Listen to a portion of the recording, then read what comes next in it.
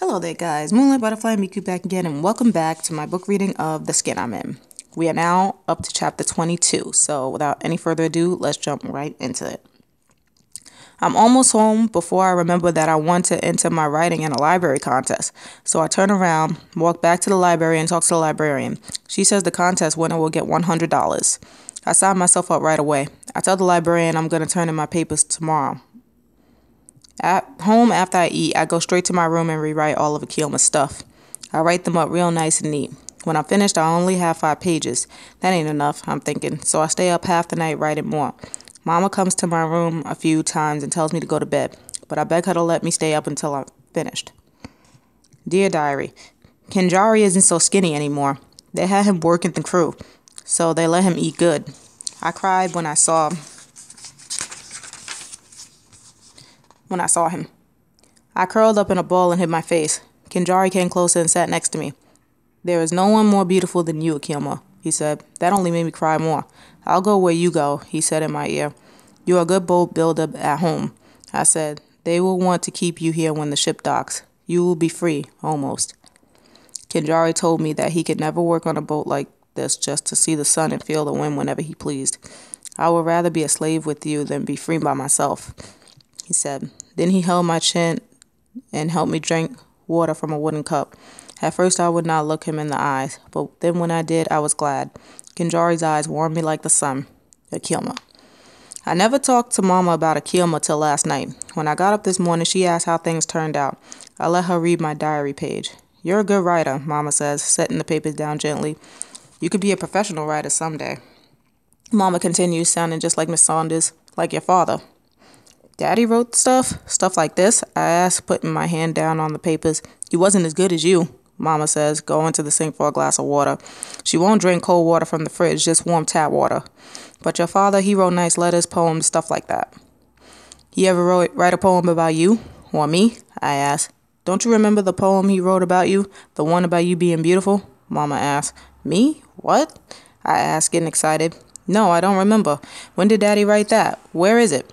I don't remember, Mama says, getting up for more water. Then she stops in her tracks.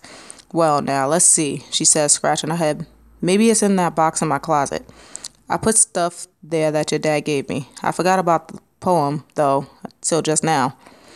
I run up the stairs two at a time. I hop over the top step and almost fall into Mama's room. I push past the shoe boxes full of dream books and no good lottery tickets and fabric scraps and go for the one marked with my dad's name, Gregory. I lift the box out of the closet like a fragile piece of glass. But I'm too scared to open it up. When I do, tears come to my eyes. There's pictures of me and Daddy standing in front of the house, playing football in the yard. Him carrying me on his back up the stairs. I haven't seen these pictures since Daddy died. Mama's yelling for me to hurry up because I gotta go to school in a half hour. I'm looking through all the pictures, but I don't see no poems. I find Daddy's birth certificate and the driver's license from when he drove a cab. I just about give up, but then I see a crumpled brown paper bag that's been smoothed out and folded tight. The words is written out real neat and straight and strong. Brown, beautiful, brilliant. My, my Maleeka is brown, beautiful, brilliant, mine. Mom is calling me. I can't answer. My mouth is full of Daddy's words and my head is remembering him again. Tall, dark, and smiling all the time then gone when his cab crashed into that big old bread truck. Gone away from me for good till now. Maliki, you gotta go to school, girl, Mama says, heading upstairs. I fold the poem and stuff it in my pocket. Then I take the picture of Daddy with me on his back and put that in my other pocket. Find anything? Mama asks, sitting next to me on the bed. Just some stuff, I say, walking out of the room to get my jacket. Mama doesn't ask what kind of stuff.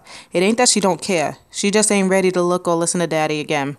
She shoves the pictures back in the box and puts the box on the shelf. I kiss Mama goodbye, and soon she's in the sewing room threading the needle. By the time I shut the front door, all I hear is that sewing machine going like crazy. All right, and that's the end of chapter 22. These chapters are very, very short, so yeah, we should be able to get through them fairly quickly. So possibly next week I'll do the next, um, well, yeah, next week definitely. I'll do um, I'll start um, uploading more. I'm sorry, guys. But anyway, I hope you enjoyed that. That was pretty emotional. Maleeka finding stuff about her father, and that poem's very nice, actually. I liked it. I liked it a lot.